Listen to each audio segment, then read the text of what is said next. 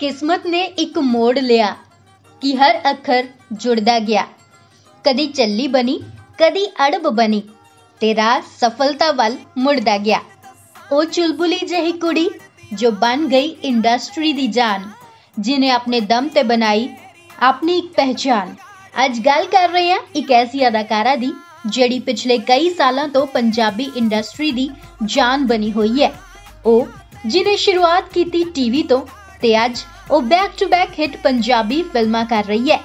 We are talking about the gorgeous and the talented actress ਸਰਗੁਣ ਮਹਿਤਾ ਸਰਗੁਣ ਦਾ ਜਨਮ ਚੰਡੀਗੜ੍ਹ ਵਿਖੇ ਇੱਕ ਪੰਜਾਬੀ ਫੈਮਿਲੀ ਵਿੱਚ ਹੋਇਆ।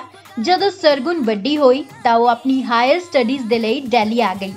ਕਾਲਜ ਆ ਕੇ ਥੀਏਟਰ 'ਚ ਉਹਦਾ ਇੰਟਰਸਟ ਹੋਰ ਵੱਧ ਗਿਆ ਤੇ ਹੌਲੀ-ਹੌਲੀ ਥੀਏਟਰ ਉਹਦੀ ਜ਼ਿੰਦਗੀ ਦਾ ਇੱਕ ਇੰਪੋਰਟੈਂਟ ਹਿੱਸਾ ਬਣ ਗਿਆ।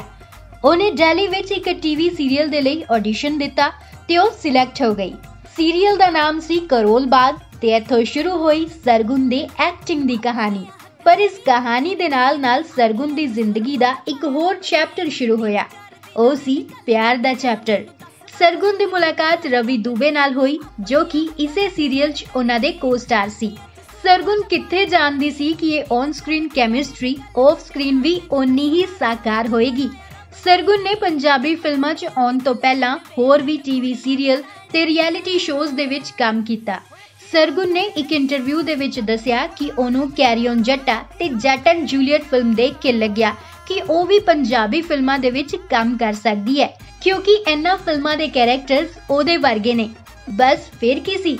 ਸਰਗੁਣ ਨੇ ਆਪਣੀ ਪਹਿਲੀ ਫਿਲਮ ਕੀਤੀ ਇਨ ਦਾ ਈਅਰ 2015 ਜਿਹਦਾ ਨਾਮ ਸੀ ਅੰਗਰੇਜ਼ ਇਸ ਫਿਲਮ ਵਿੱਚ ਸਰਗੁਣ ਸੁਪੋਰਟਿੰਗ ਰੋਲ ਵਿੱਚ ਸੀ ਤੇ ਉਹਦੇ ਇਸ ਫਿਲਮ ਦੇ ਵਿੱਚ ਸਿਰਫ 11 ਹੀ ਸੀਨ ਸੀ। ਪਰ ਉਹਨਾਂ ਸੀਨਸ ਦੇ ਵਿੱਚ ਆਪਣੀ ਟੌਪ ਕਲਾਸ ਐਕਟਿੰਗ ਦੇ ਨਾਲ ਸਰਗੁਣ ਨੇ ਆਡੀਅנס ਦੇ ਦਿਲਾਂ ਨੂੰ ਛੂ ਲਿਆ। ਫਿਰ ਆਈਆਂ ਉਹਨਾਂ ਦੀਆਂ ਕਈ ਸੁਪਰ ਹਿੱਟ ਫਿਲਮਾਂ ਜਿਵੇਂ ਲਵ ਪੰਜਾਬ ਕਿਸਮਤ ਕਾਲਾ ਸ਼ਾਹ ਕਾਲਾ ਚੱਲੇ ਤੇ ਹੋਰ ਵੀ ਬਹੁਤ ਫਿਲਮਾਂ ਹਾਲੇ ਤਾਂ ਬਸ ਸ਼ੁਰੂਆਤ ਹੈ।